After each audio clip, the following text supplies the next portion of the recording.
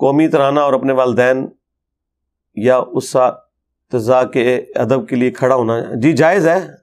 ये जो लोग नजायज़ कह रहे हैं, वो उन लोगों के अपने एक जज्बाती दुनिया है। उनको मुबारक हो। जो नजायज़ होने वाली बात है, वो कोई नहीं है। वो जो हदीस शरीफ है, वो बिल्कुल डिफरेंट कॉन्टेक्स्ट में है। जो जाम तिरमजी में है। कि जिस शख्स की ये ख्वाहिश हो कि लोग उसके इस्तकबाल में खड़े हो जाएँ, वो अपना मकाम जहन्नम में देख ले। ठीक है? ये हदीस ही बता रही है कि जिस शख्स के लिए लोग खड़े हो रहे हैं ना, ये उससे मुतालिक हदीस है।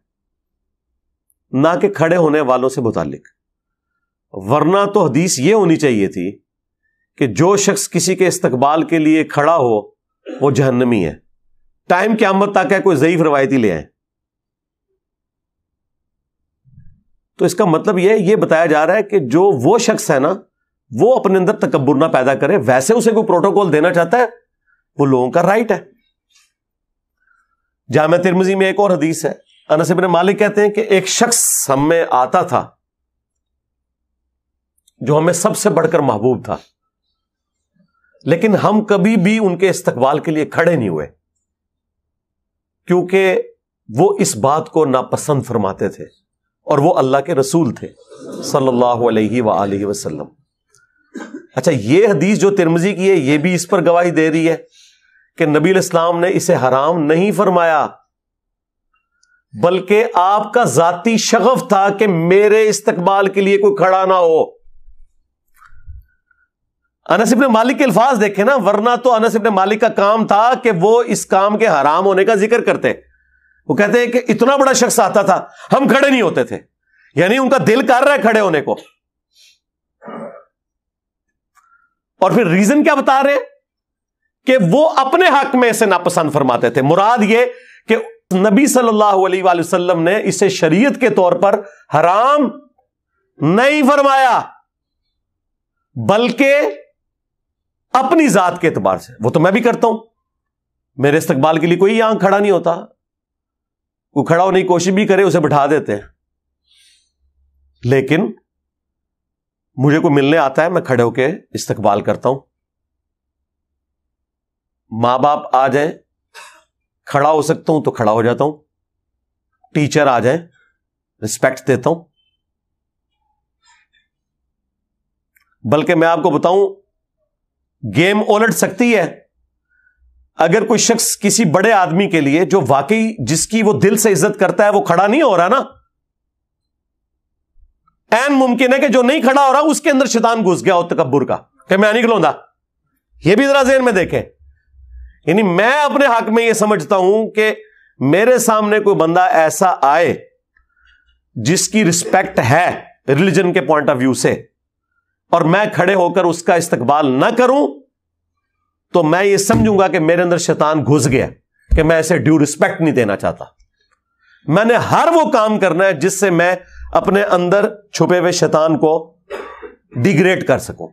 तो उसका तरीका यह है कि मुझे रिस्पेक्ट देनी है। गांधी साहब के आए दामाद हसन इलियास भाई ना सिर्फ़ मैंने खड़े होकर उन्हें रिसीव किया, बल्कि अपनी जो मेन चेयर थी उसके ऊपर उनको बिठाया, खुद साइड पे बैठा। क्या फ़र्क पड़ गया? सिर्फ़ इसलिए कि मुझे कहीं ये ख्याल ना आए कि मैं कोई बहुत बड़ी चीज़ हूँ। तो अंदर की मैं मारते मारते ये ना हो कि सबसे बड़ी मैं आपके अंदर हो जाए मैंने जैसे खिलौना ही नहीं जी। ये आप क्या मैसेज दे रहे हैं किसी को? रहा उसका मामला। तो आपके पास कौन सा थर्मामीटर है चेक करने का कि उसके दिल के अंदर यह तमन्ना है कि लोग उसके लिए खड़े हो? नहीं है ना? तो आप ड्यू रिस्पेक्ट दें अपने टीचर्स को भी ओलमा को भी, जिनसे आप दीन सीखते हैं, या आप उनसे कॉलेज और यूनिवर्सिटी की तालीम हासिल करते हैं, या आपके माँ बाप हैं, या आपसे उम्र में बड़े हैं। इसमें कोई ऐब वाली बात नहीं है। किन चीज़ों में उम्मत को उलझा दिया है, ये बाज लोगों ने, मैं बड़ा हैरान होता हूँ। इसके अंदर यानी शिरक को दाखिल कर दिया भाई, यार, खुदा के लिए अल्लाह से डर जाओ। ये तो उल्टा आपके अंदर तकबर आया हुआ है। सही मुस्लिम में हदीस है, जिसके दिल में राई के दाने के बराबर भी तकबर हुआ ना, वो जन्नत में नहीं जाएगा। जी। तो साहबा ने अर्ज़ किया, अल्लाह के रसूल बाज़ात हमारी ख्वाहिश होती है कि हमारे कपड़े अच्छे हों जूतियाँ अच्छी हों गेटअप अच्छा हो, क्या ये भी तकबर है? तो आपने फरमाया ये तकबर नहीं है। अल्लाह भी खूबसूरत है और खूबसूरती को पसंद फरमाता है। तकबर यह है कि तुम हक बात से इनात करो। यानी दिल ने गवाही दे दी ना ये बात ठीक है। फिर भी तुम ना मानो। वाकई इससे बड़ा तो तकबर हो ही नहीं सकता ना। कि कुरान और सुन्नत की कोई बात आ जाए और बंदा के मैंने नहीं माननी। और अल्लाह के फजल से, बल्कि कहना चाहिए अल्लाह के गजब से, दीनदार तबके में ये बात पाई जाती है कि आप उसे बुखारी मुस्लिम से नमाज़ का तरीका भी बता दें, कैसा तकबर उसके अंदर झलकता है। उसने नहीं रफुल फिर भी शुरू करना। तेरे होते जन्म लिया होता, रफुल फिर भी नहीं तू करना। उसे दिखा दें या का नाबुदू ईया का नस्ताइन उसने फिर भी बाबों को ही पुकारना है। यह तकबर तो फरमाया तकबर यह है कि तुम हक बात से इनाद करो और दूसरों को हकीर जानो। दूसरों को हकीर जानने में तो यह हो सकता है ना कि जब आप किसी को प्रोटोकॉल ना दें तो एक लम्हे के लिए आपके दिल में यह गुमान आ जाए कि मैं इससे बेहतर हूँ। बस गए। तुसी उस गल लैके बैठे रहो, तजीम के लिए खड़ा नहीं होना चाहिए। तू गया। तेरे अंदर शैतान वड़ गया जेड़ा नहीं खलोता तू। खलो जाएगा तो ईमान बचा लेगा। और वो तो मसला ही तेरा जाली है ना कि ताजीम के लिए खड़ा नहीं हुआ जा सकता। तूने ताजीम के लिए खड़े ना होके अपने अंदर बैठे हुए शैतान को एक्सपोज कर लिया कि सबसे बड़ा शैतान तू है, तेरे अंदर इतना तकबर है कि तू किसी को इतना प्रोटोकॉल देने के लिए तैयार नहीं दूसरी तरफ़ तो आपको बताते हैं कि सईदा फातिमा जब आती हुजूर खड़े हो जाते हैं उनके इस्तकबाल के लिए।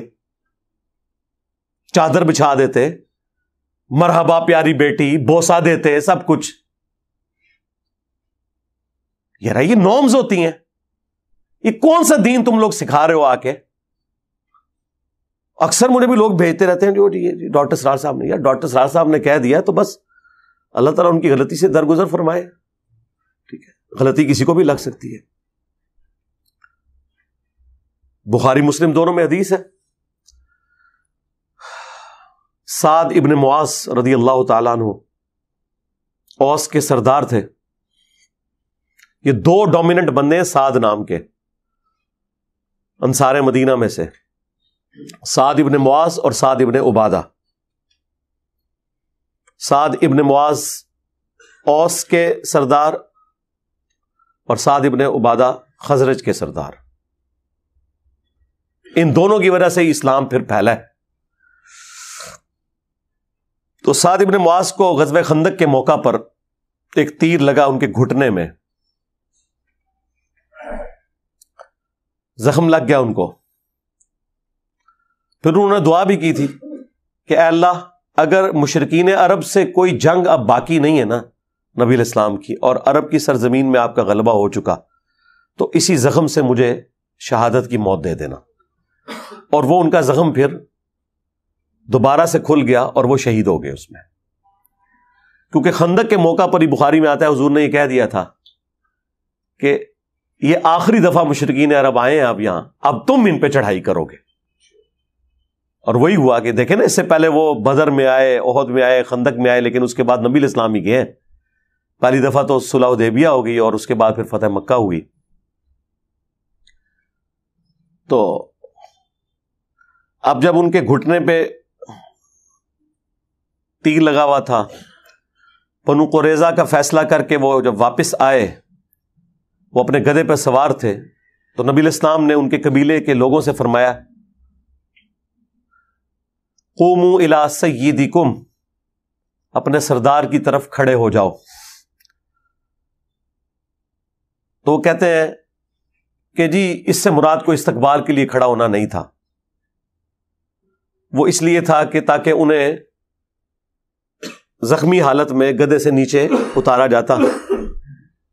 वरना नबी इस्लाम कहते कोमूल सय्यदिकुम अपने सरदार के लिए खड़े हो जाओ। ये तो था, अपने सरदार की तरफ़ खड़े हो जाओ। यरा नबी इस्लाम कैटागोरिकल स्टेटमेंट दे रहे हैं। अगर उनको उतारना होता तो हजूर दो बंदों की ड्यूटी लगाते, पूरे कबीले को कहते।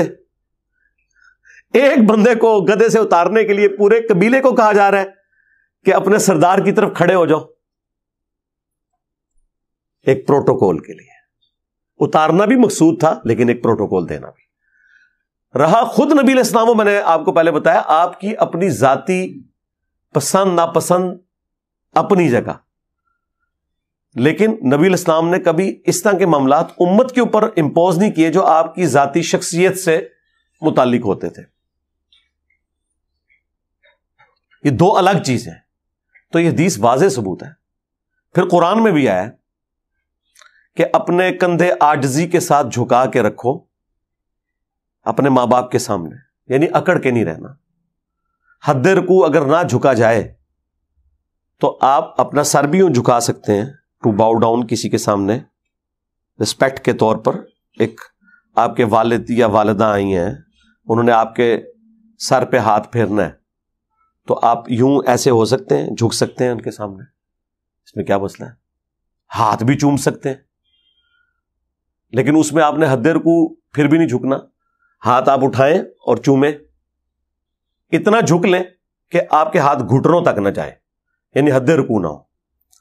मैंने गांधी साहब के हाथ चूमे थे, वो लोगों ने बड़ी नीचे। उलमा ने भी इतराज करने शुरू कर दिए, देखो जी, हमारे उलमा की तो रिस्पेक्ट नहीं करता, और उधर देखो ये कर रहा है। ये रहा आपके भी उलमा के, उस वक्त भी चूमते रहे, अब भी चूमते हैं, अल्लाह के फजल से। अगर चूमने से आप लोग खुश होते हैं ना, मेरे वो उस्ताद जिन्होंने मुझे बचपन में कुरान पढ़ाया हुआ ना, अभी भी कटर ब्रिलवी मुझसे नफरत करते हैं, वो अभी भी आते हैं, मैं उनके हाथ चूमता हूँ उसी तरीके से। मुझे क्या फ़र्क पड़ता है यार रिस्पेक्ट अपनी जगह आपने देनी है, ठीक है? जिससे आपने कुछ भी इल्म हासिल किया, आपने उसे ड्यू रिस्पेक्ट देनी है। साहब कराम नबी इस्लाम के मुबारक हाथों को चूमते थे, बल्कि वो तिरमजी में और अबूदौद में तो हदीस है वो चंद यहूदी आए थे, उन्होंने तो नबी इस्लाम के पाँव मुबारक भी चूमे थे। लेकिन ये पाँव वाला प्रोटोकॉल सिर्फ़ नबी इस्लाम का है। हाँ ये जहन में रखिएगा। हम पाँव चूमने के किसी के हक में भी कायल नहीं है, सवाए रसुल्ला सल्लल्लाहु अलैहि वसल्लम के। अलबत् हाथ चूमना, वो आप किसी भी रिस्पेक्टेबल पर्सनैलिटी के हाथ चूमे बगैर रुकू तक झुके हुए। हाथों को बुलंद करें और चूमे।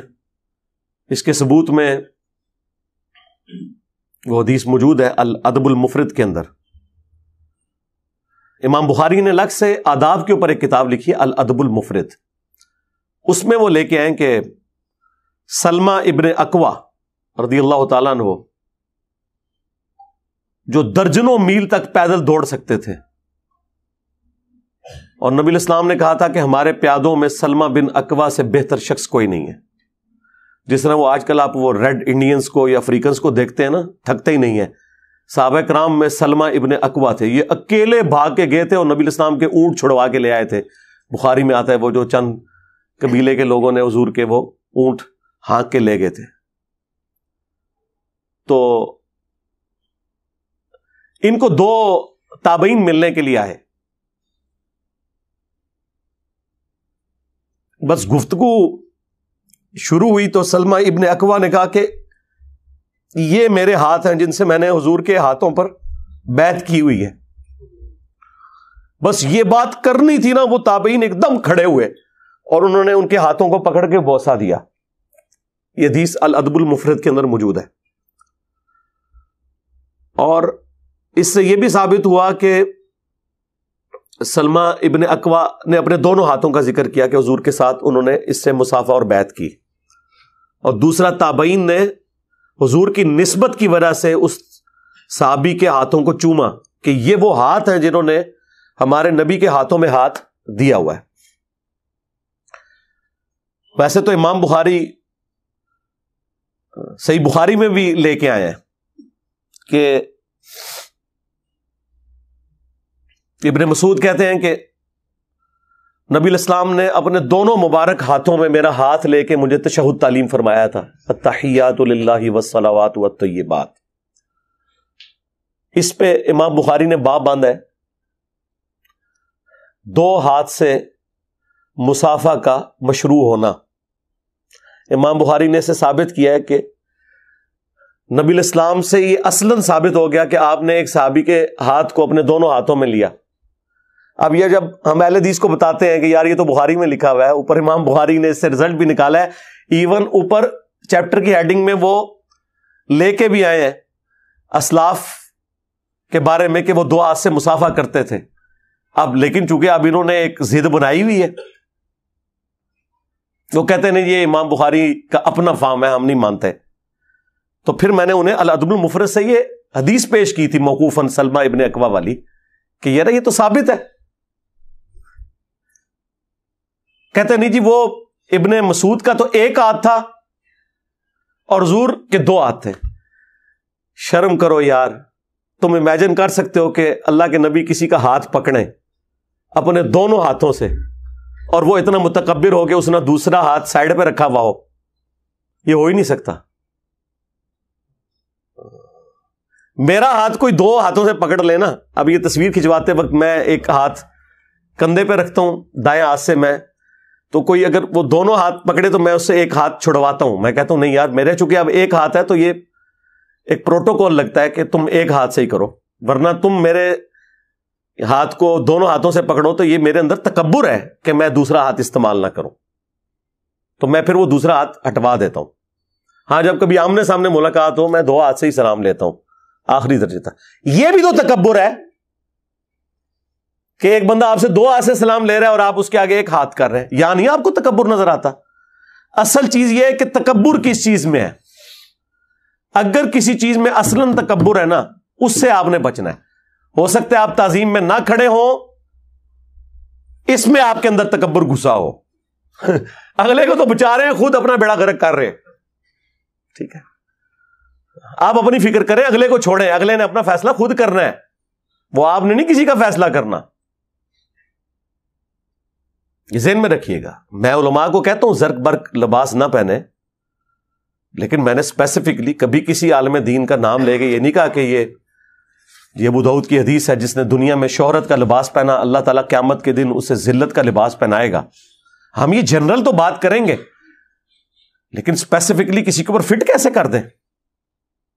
तरगीब ही दिला सकते हैं कि तिरमिजी में हदीस है जिसने दुनिया में इस्तात के बावजूद अच्छा लिबास तर्क कर दिया और सादा लिबास पहना, अल्लाह ताला पब्लिकली क्यामत के दिन उसे जन्नती हुल्ला पहनाएगा कि इसने मेरी वजह से दुनिया में सादगी इख्तियार की थी।